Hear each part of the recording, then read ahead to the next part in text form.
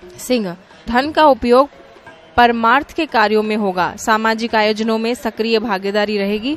दूसरों की आलोचना से बचें। संपत्ति में निवेश करना लाभदायक रहेगा।